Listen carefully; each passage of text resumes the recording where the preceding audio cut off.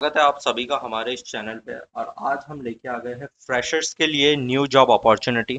तो पहली जो अपॉर्चुनिटी है, ये एक इंटर्नशिप अपॉर्चुनिटी है for C C plus plus और पाइथन एक्सपीरियंस वालों के लिए। और आपकी जो यहाँ पे लोकेशन होने वाली है, वो होने वाली है गुड़गांव, हरियाणा। और बात कर लेते हैं एज आपको यहाँ पे अगर इंटर्नशिप के लिए बुलाया जा रहा है और आईटी के अंदर बुलाया जा रहा है, और यहाँ स्पेशली ये मैंशन है कि सी सी प्लस प्लस और पाइथन वाले ही इसके लिए रहेंगे तो आपको डेफिनेटली एक इन तीनों में से एक जो है वो लैंग्वेज बहुत अच्छे से आनी चाहिए। रेस्पॉन्सिबिलिटी जो होना चाहिए। ए आई एम एल जो है, आज के टाइम पे अगर मैं आई टी की बात करूँ तो हर जगह पे यूज़ हो रहा है। तो आप अच्छे से प्रॉम कैसे लिखते हैं वो आप सीखिए। और कैसे एम ए आई का जो फाउंडेशन है M L M L E और एम एल ऑप्स उसको आप एक बार एक्सपोज एक्सप्लोजर ले सकते हो उसका। और बात कर लेते हैं यहाँ पे तो जितनी भी फैसिलिटीज़ आपको मिलने वाली है, वो हरमन की ओर से मिलने वाली है। और सैमसंग की कंपनी है राइट तो यहाँ पे आपको बहुत अच्छी अपॉर्चुनिटी मिलने वाली है और सीखने के लिए बहुत कुछ यहाँ पे आपको मिलने वाला है। और चलते हैं नेक्स्ट जॉब अपॉर्चुनिटी ये है एरिक्सन की ओर से और यहाँ पे ग्रेजुएट इंजीनियर ट्रेनिंग की यहाँ पे अपॉर्चुनिटी है। और बात करें तो लोकेशन आपकी नोएडा होने वाली है। और गेट के लिए अगर जी e के लिए यहाँ पे अगर हायरिंग हो रही है तो डेफिनेटली आपकी जो रोल्स और रेस्पॉन्सिबिलिटी है वो अलाइन होने वाले हैं आपके आईटी रिलेटेड तो एज अ आईटी पर्सन आपको क्या करना पड़ सकता है?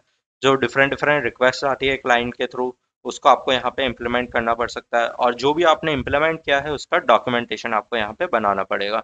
Right right? जितनी भी डिलीवरीज होती है डिफरेंट डिफरेंट टाइप की स्ट्रेटेजीज होती है, जो कि डिफरेंट डिफरेंट कंपनीज़ फॉलो करती है, वो आपको यहाँ पे करना पड़ेगा। और डिस्क्रिप्शन में मैं इसका लिंक दे दूँगा।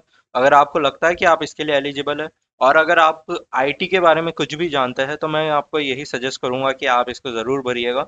और आईटी से रिलेटेड जो जो वर्क होता है, जैसे जैसे वो क्वेश्चन आपसे पूछेंगे तो आपको पता पड़ेगा कि हाँ ये चीज़ आपको पता है, मगर हाँ अभी तक आपने इसका इंटरव्यू नहीं दिया था तो आप इसका एक्सपोजर नहीं ले पाए थे। राइट चलते हैं, तीसरी जॉब अपॉर्चुनिटी ये भी एक इंटर्नशिप अपॉर्चुनिटी है।